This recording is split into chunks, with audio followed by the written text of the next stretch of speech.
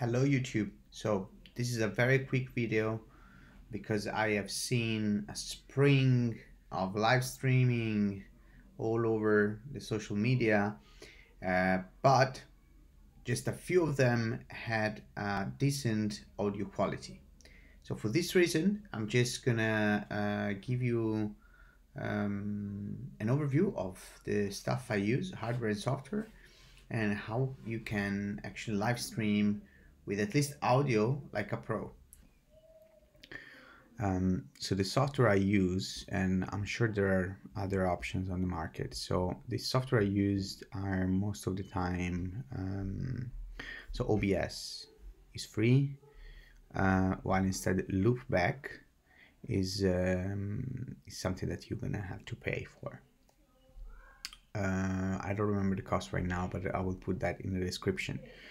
So the very cool thing about loopback is that even if you're using a MIDI controller or let's say you wanna you wanna make a live stream uh, recording uh, your mix on Traktor, for example, um, and um, but you also want to play on with Ableton on top of that. So you can do that with Loopback. So it's a very simple uh, software where basically you can select the uh, any audio input that you want to um, then you want to put into the main output channel. Uh, in my case, I usually uh, like to play in Ableton Live, uh, putting some live elements on my DJ sets will, will come from Traktor. If I would play something on Traktor, for example, what, what's going to happen. Now, I don't have any MIDI controller connected right now, but even if I would, the coolest thing about this is that you can use directly the main output of Traktor from a sort of software wave, software way, and and drive it into the output channel.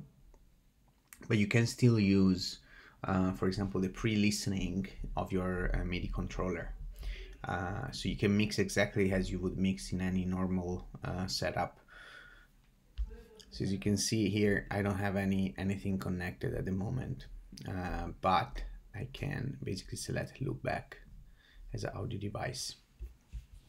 So what this will make is that if I play any track in here,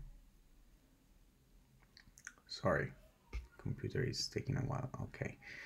So if I put any track in here and I play it, you will see here into the loopback that there is some out output. So there is an input from Traktor which is going to the channel.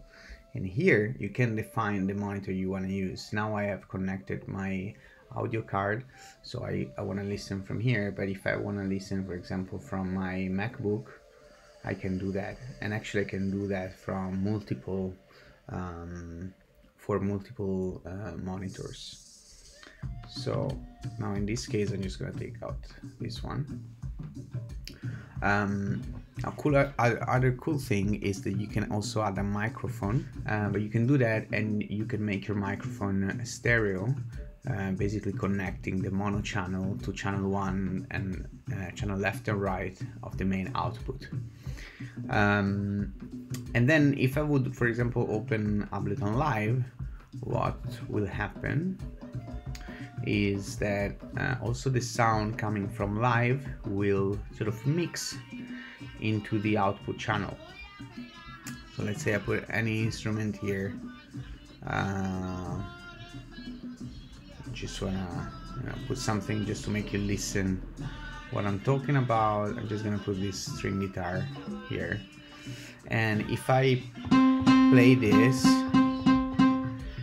what you will happen what will happen here is that this signal from Ableton Live is going directly into the output channels and uh, then to my monitor. Um, so basically now we're sorted out the audio channel and we can mix multiple uh, sources into the main output channel of uh, loopback.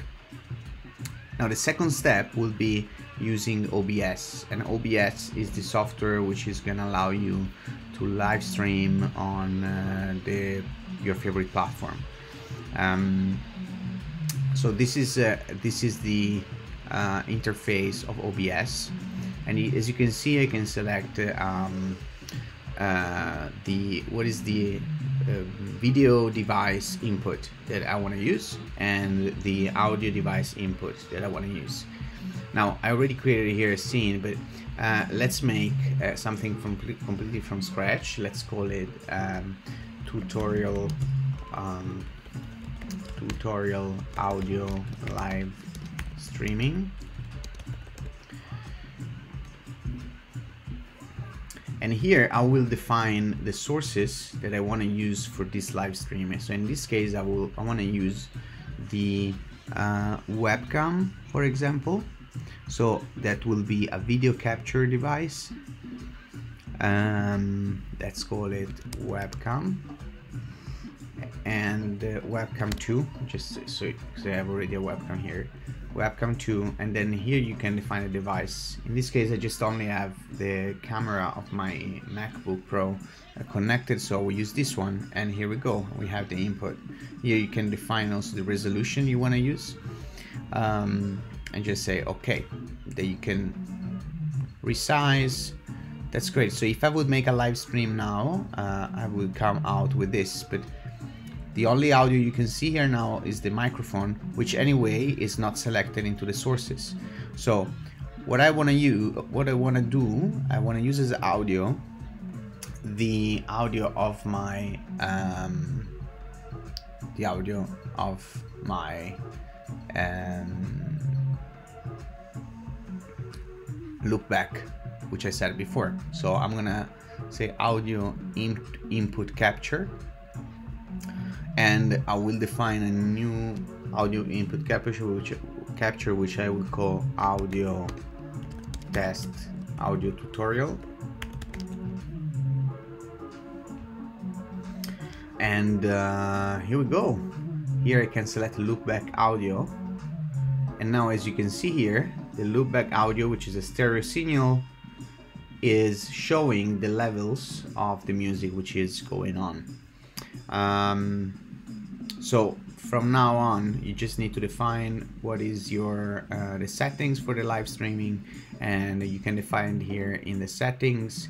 You can define the service you want to use. There is uh, some uh, sort of uh, standard setup uh, you can use. Uh, let's say that you want to use um, Facebook Live, and here you're gonna have to put the stream key link how you're gonna know this is uh, uh, basically going to Facebook. And uh, when you do that you wanna make a live video in diretta live live streaming. Oops sorry. Live streaming you get this panel up. And here you need to select use keys for the streaming. And here you're gonna have this key that you can copy and paste into your into your OBS here. Okay? Then if you do okay and if you start stream you will see now I'm not gonna start streaming right now but you can see that here we show up inside Facebook the live streaming I'm doing. And this live streaming will have the audio coming straight from uh, the softwares so with no uh, you know uh, you're not gonna lose any quality. Uh, you don't have to record the sound from the microphone uh, which will result in a very poor quality. And that's it. It's done. So actually pretty easy uh, and this is adaptable to a number um, of situation uh, including live instruments uh, and uh, anything else you want to use. Um, just if you have more questions uh, please put it in the comment and I will try to answer to you um, so that you can uh, adapt this method to your own home setup to live stream